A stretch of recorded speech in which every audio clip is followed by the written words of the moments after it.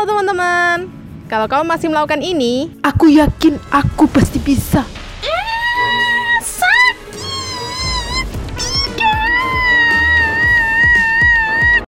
kamu nggak akan bisa split. Yang ada malah cedera. Mau tahu gimana caranya? Eh, olahraga yuk.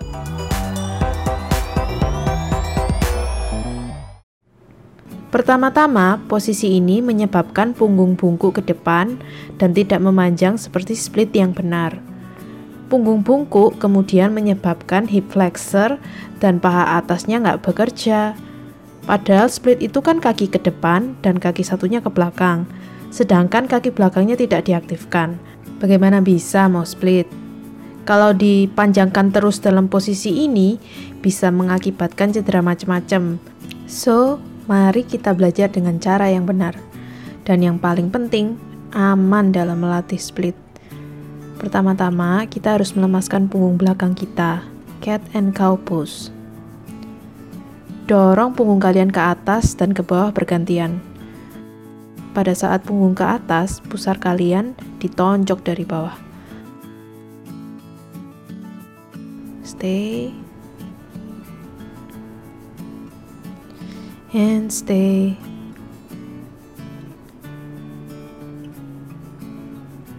Next, kita memanaskan panggul kita. Jadi teman-teman, split itu bukan hanya masalah kelenturan kaki, tapi juga kelenturan panggul. Karena kan kaki kita tersambung dengan panggul kita, jadi nggak mungkin dong kakinya doang yang lentur.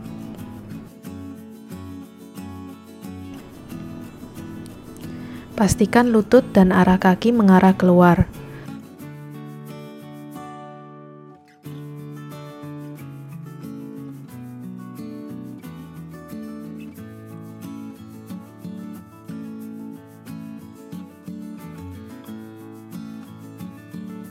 Sekarang, ayunkan badan kalian perlahan ke kanan dan ke kiri. Lututnya mengarah keluar selebar yang kalian bisa. It's okay bila kalian masih bisa belum selebar dan selurus ini. Everything will come naturally if you practice with patience. Kuncinya adalah latihan dan kesabaran. Jangan lupa bernapas.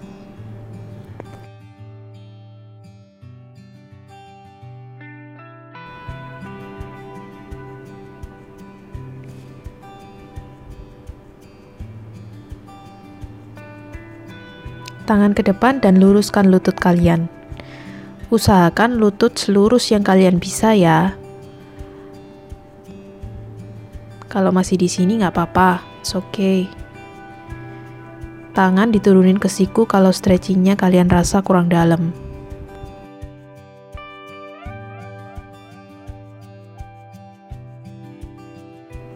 Stay, napas di sini. Oke, sekarang kita ke samping kanan. Punggung lurus. Jangan sampai ada bungkuk atau menekuk ke depan. And turun. Cium lutut kalian. Usahakan chest kalian yang menempel ke lutut. And down. Kaki belakang lurus ya. Kalau masih belum bisa boleh ditekuk, tapi tetap goalnya adalah lurus. Bisa goyang-goyang ke depan, ke belakang, down.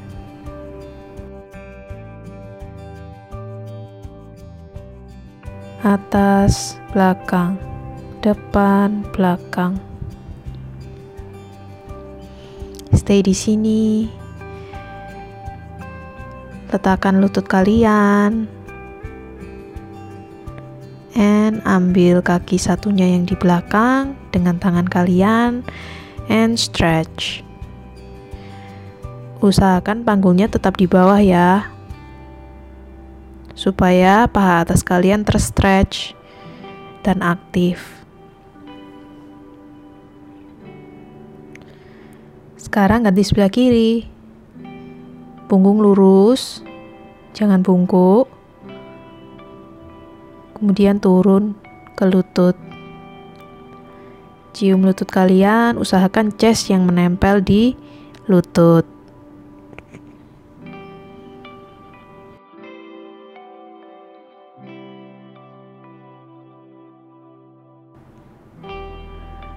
Goyang ke depan, ke belakang. Usahakan kaki belakangnya lurus ya.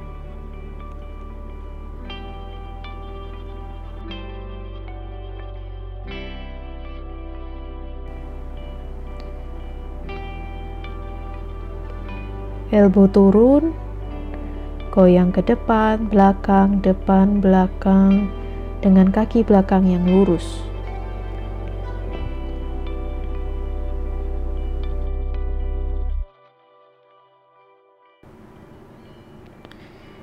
Letakkan lutut kalian dan ambil kaki kalian yang ada di belakang dan stretch. Usahakan panggul kalian tidak ke atas ya, Usahakan turun sehingga paha atasnya aktif dan terstretch dengan baik. Oke. Buka ke depan. Kaki kanan kaki kanan lurus ke samping. Dorong lutut kiri kalian menuju ke arah yang lebih membuka. Ke arah satunya, dorong lutut kanan kalian ke arah yang lebih terbuka.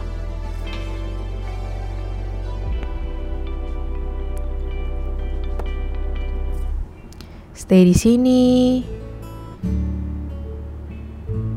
And down. Kaki kanan ditekuk di depan. Dan kita akan latihan panggul kita lagi. Rotasi panggul. Lihat ke kanan, lihat ke depan.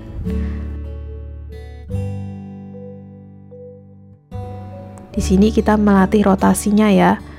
Jadi panggul kita nggak stiff atau nggak kaku. Lebih aktif, lebih luas. Dan tentunya pasti akan lebih gampang untuk mencari split. Perhatikan di sini kita lagi latihan setengah split dengan kaki belakang yang lurus ke belakang. Stay di sini, rasakan paha atas kalian terstretch, and ke depan. Tangannya bisa lurus kalau kalian belum bisa menekuk.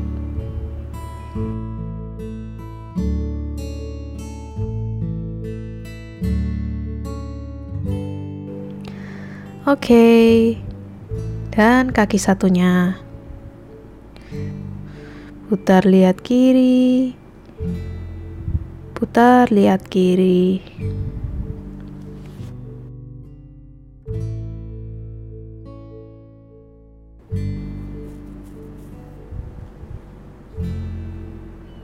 Rotasi hips ini memang penting sekali untuk split dan untuk kelenturan seluruh badan.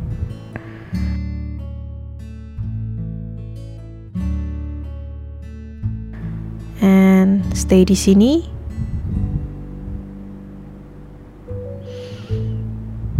Jika kalian merasakan sedikit sakit, it's okay. Asal sakitnya bukan sakit yang tajam atau perih ya. Sakitnya itu adalah sakit seperti kalian ditarik, memanjang. Bukan sakit yang painful, tapi sakit yang uh, bisa dibilang agak enak sih. Badan ke depan, elbow turun jika bisa. Kalau nggak bisa, tangannya tetap lurus nggak apa-apa. It's okay. Hormati progres kalian hari demi hari. Oke, okay, come up. And buka. Buka kaki kalian ke kiri dan ke kanan selebar yang kalian bisa dan lakukan rotasi ini. Yang perlu diperhatikan adalah jangan bungkuk. Punggung tetap lurus. Kalau kalian belum bisa selebar ini lingkarannya, it's okay. Lebih baik kalian rotasinya sedikit, tapi punggung kalian lurus, nggak bungkuk.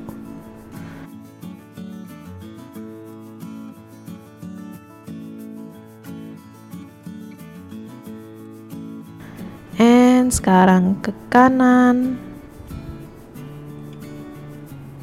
Sorry, ke kiri.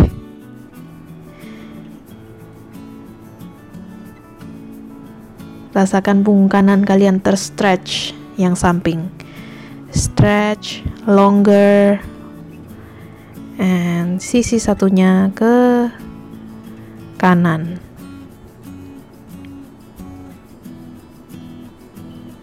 Rasakan punggung kiri kalian terstretch dengan panjang, dengan lentur dan indah. Jangan lupa bernapas. Nafas tetap diatur. Panjang inhale and exhale. Oke, sekarang kita ke depan. Tangannya seperti push up serendah yang kalian bisa. Jika kalian masih bisa 5 cm, 10 cm, it's okay. Itu adalah kemajuan kalian hari ini dan kalian harus bangga dengan itu.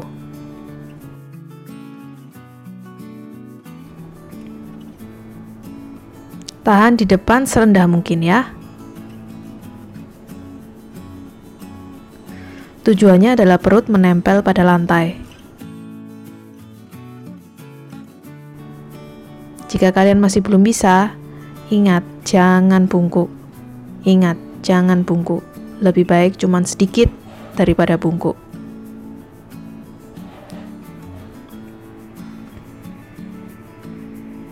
Oke. Sekarang kita posisi tidur, angkat kaki kanan ke atas. And stretch.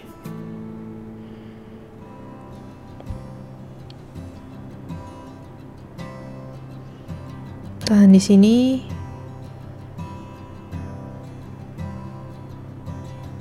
ada lalat datang oke fokus. Stretch.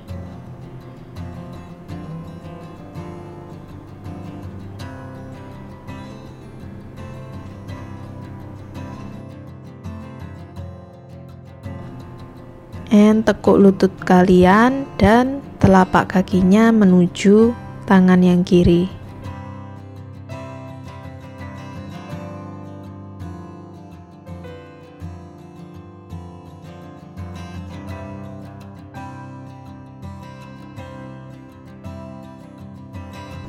kalian lagi memanjangin otot pantat kalian. Otot pantat juga dibutuhkan dalam split.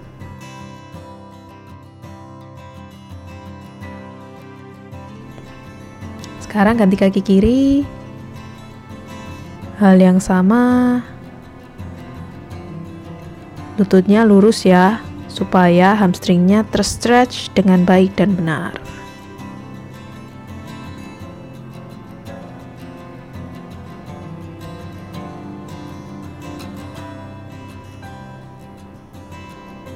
Tahan di sini.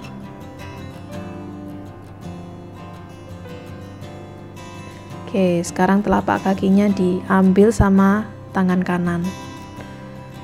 Stretch bokong kiri kalian. Tahan di sini and napas. Inhale, exhale.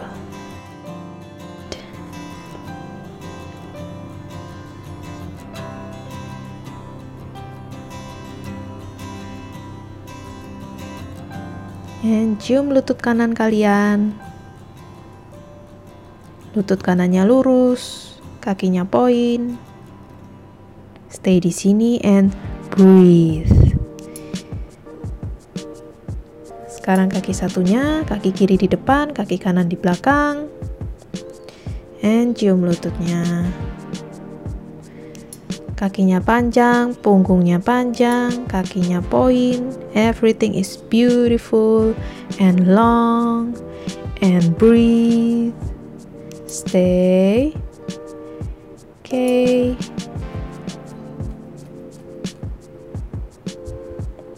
Lagi. Sekarang kita coba untuk slide split ya.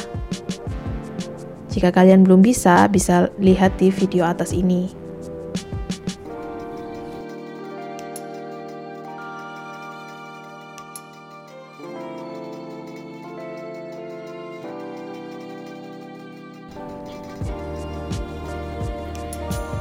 Putus asa jika kalian belum bisa hari ini, karena memang tidak semua orang memiliki kelenturan yang sama.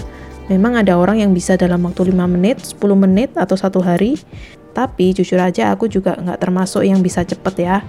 Tapi aku bisa dengan aku latihan setiap hari, aku nggak menyerah, aku sabar dalam dalam melihat progres-progres kecilku, and that matters. Dan itu penting.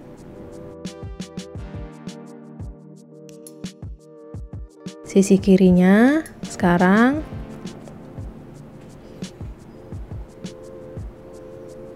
Tahan di sini kedua kaki poin.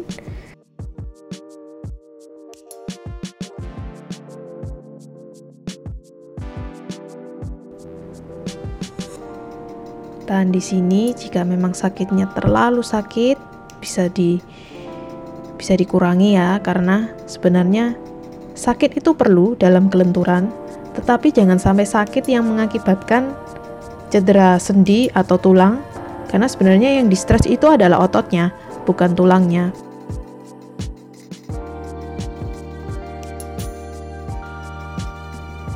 Selesai, mari kita pendinginan. Jangan lupa ya, habis split harus tetap ada pendinginannya. Si kita lemaskan otot hip flexor kita yang tegang tadi.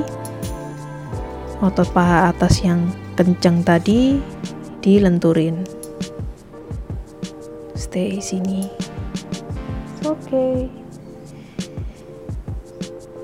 Kalian adalah orang yang hebat banget karena kalian sudah 15 menit lebih stretching bersama aku dan kalian melawan rasa sakit kalian. Kalian melawan ketakutan kalian dengan mengikuti ini dari awal sampai akhir. Slowly come up.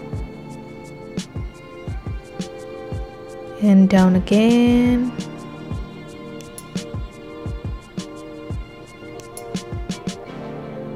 And up.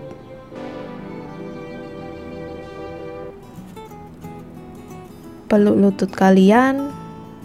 Round your spine. Relax your spine. Elongate your spine. Dan terima kasih sudah melihat video ini dari awal sampai akhir.